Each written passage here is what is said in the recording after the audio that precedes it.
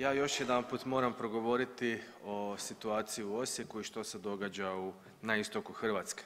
Želim započeti sa zahvalom vatrogascima i svim hitnim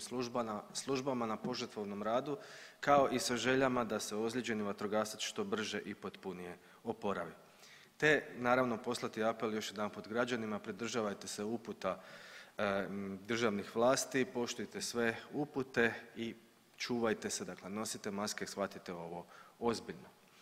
Ono što smo imali prilike gledati i jučer i danas je postalo nabacivanje krivnje, prebacivanje loptice tko je kriv za ono što se dogodilo, zašto se to dogodilo, kako je izbio požar,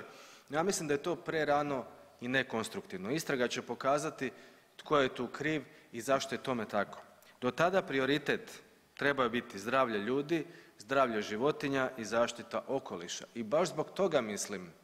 da su, da je vlada i institucije vlasti su preneozbiljno shvatili ovaj problem, nisu proglasili izvanredno stanje dok se bez ikakve sumnje može utvrditi sigurnost zraka za sve naše građane i na taj način zapravo propuštaju učiniti sve što možemo učiniti u njihovoj zaštiti, a da problem nije mali mogu vam svjedočiti i građani koji se nalaze blizu lokaliteta gdje je izbio požar, pa i u samom gradu Osijeku kada se vjetar promijenio, dakle koji osjete i miris požara, a o česticama i onome što se sve ne osjeti ne moram ni govoriti. Međutim,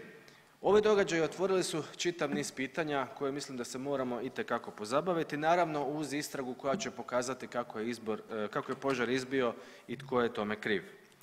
Prvo je funkcioniranje sustava za rano upozoravanje i upravljanje krizama, dakle očito je da tu i dalje postoje problemi i mislim da nakon nekoliko situacija u kojima su problemi i propusti postali očiti, evo primjerice slanje poruka na njemačkom jeziku,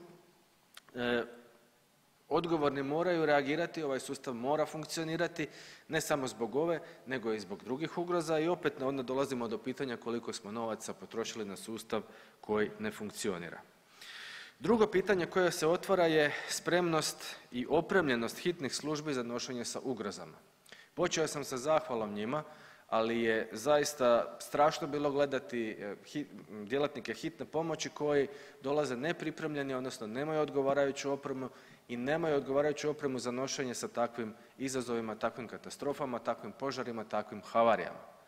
To se kolegice i kolege ne smije dozvoliti, ne smije se dozvoliti da ti ljudi koji rade u hitnim službama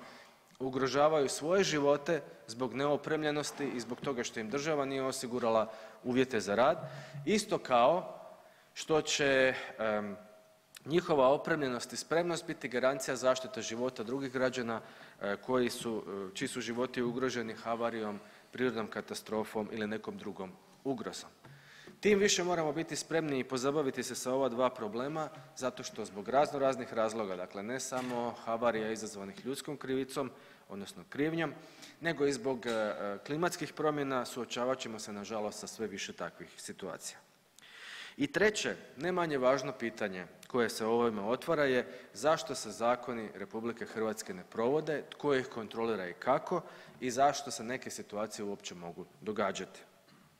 Dakle, rekao sam ne prejudicirajući ništa i ne optužujući nikog sa ove govornice jer nisam sud, istraga će pokazati svoje, no pitanja koja se otvaraju je li, jesu li količine skladištenog materijala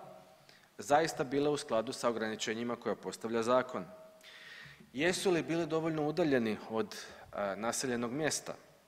kako to da radnici mogu stanovati u krugu tvornice itd., itd.,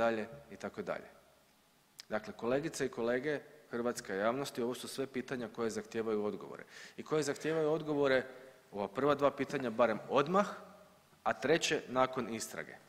Povlače se i tvrdnje političkih zaleđine zaštite itd., itd.,